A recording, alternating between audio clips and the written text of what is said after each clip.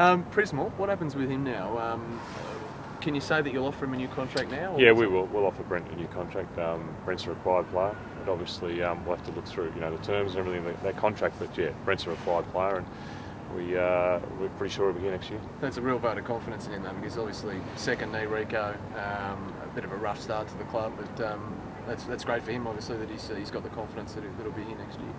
Yeah, it is. Look, it's a it's a different knee, um, and I think he's had a history in the family of, of knee reconstruction. So it's a, it's an injury that you know no one ever wants to see happen. But um, as you said, it's a vote of confidence. He's a required player. He's a very good player, and he's you know, he's only 23 yeah. years old. So there's a lot of football left in Brent Prismall, and you know he should be back by May next year. So it's not the, the worst thing that can happen in his career.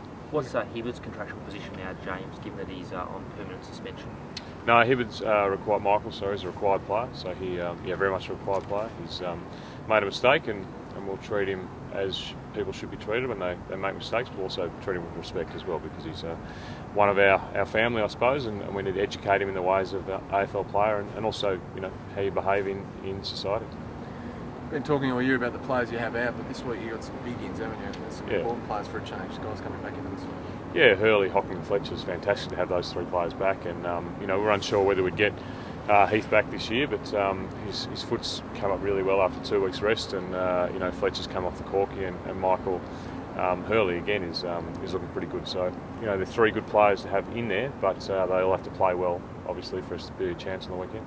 Think you're asked about Paddy Ryder probably every third, second day over the last six months. Do you, do you feel vindicated in a sense that uh, the world was asking you to basically send him back to the VFL? He's really turned it around the last couple of weeks as you thought he would. Yeah, look, he has, but I think people got to remember he's only a young player as well, and um, Paddy's nowhere near uh, the, the, full maturity of his body and the full maturity of his football career. So he's going to have periods where he doesn't play as well. Um, I think everyone likes to see uh, players come on the scene, play well, consistently play well, but it doesn't happen like that. So we need to work with Paddy as, as we have, and, and, he needs to work uh, very hard in his game so that the consistency comes. Bellchambers, James, obviously been omitted. Was that related to the composition of the side this weekend, or what to do with his form? No, his form's been pretty good, and Tommy's in a really difficult situation where he's, you know, we've got some pretty strong ruck stocks, um, you know, and unfortunately for him, with Hurley uh, and Fletcher coming back in um, and Carlisle playing as well down back. We've got a very tall team, so adding one more probably makes us a bit, you know, a bit too tall. And but there's a massive future for Tom in his football career, and as frustrating as it would be for him at the moment, I mean, he, he understands he's, he's very close to being, you know, the number one ruckman here. Chances. Uh, you mentioned Paddy Ryder.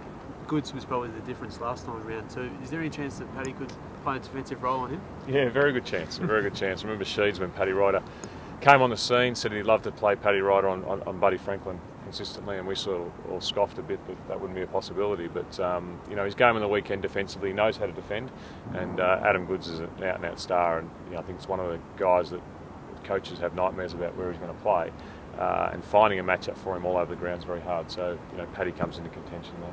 State of Origin talk is back in that, back in the mix, James. What are your thoughts on that, and the best timing in terms of where it should be during the year?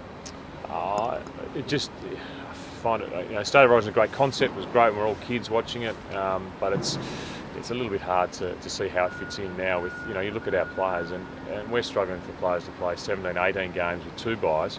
Um, you throw another game in for the best players in the competition, which is uh, at a higher intensity probably to a normal AFL game, and you just it, it just can't fit somewhere in the season. I don't think. Maybe once every four or five years, maybe, but other than that, I can't see it being a part of the uh, the season. And the concept of a uh, mid-season trade period. Do you have a view on that, and in particular, how long it should be?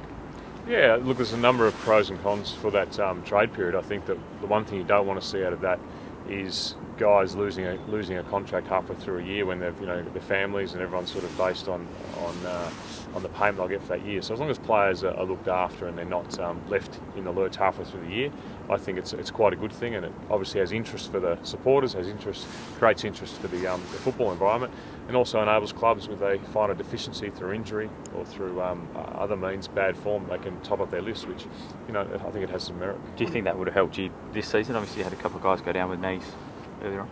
Yeah, definitely. I mean, it would have. Uh, we had so far this year, we've had four guys who, you know, with the two knees. I think they played three games. Those guys, those two guys, another two with a hamstring to Anthony Long and Darcy Daniher being, you know, um, injured for most of the year. We've had four guys on our list who really haven't been able to contribute through injury. So um, that makes it a little bit tough. So for us, it would have been pretty good. What do you think? A week? I know it's hypothetical, but a week would that be sort of a, enough of a window? I don't know. A week's a long time. a couple of days might do it. Okay. A week is a very long time, and yeah, you can just you can see all the speculation, the hype. It would um, certainly create more interest around the game. James, training here at Etihad must be a bit of a bonus. Yeah, look, uh, we'd love to train here as much as we can, and um, you know, just to be able to come out and have some shots at goal. It'll be a very light session for us, but um, you know, the players have played a lot here, but still, um, just have a tr- training session, do things a little bit slower, and get a feel for the game is always good. Was it hard to get access? A lot of teams sort of seem to ask. Yeah, it's very hard to get access, but uh, we were fortunate being one of the tenants here that um, they enabled access was very good of them to do that. And just one more, uh, Tom Hafey's 80th birthday today. Can you just give us a couple of words on his contribution to football? Oh, Tommy's a star. Yeah, Tommy's one of the, the, the AFL greats, isn't he? I think grew up as a kid watching him as a, as a coach, and um, you know got to know Tom reasonably well, not not, not overly well, reasonably well. Uh, just being around the traps, and he sent me a lovely letter uh, when I retired, which I've still got framed um, next to my uh, next to my work desk. So, you know, fantastic man for football, and just a, a genuine gentleman. You'll be down the beach at 5 a.m., won't you, when you're 80? Not quite, no, no maybe six thirty. Oh, okay.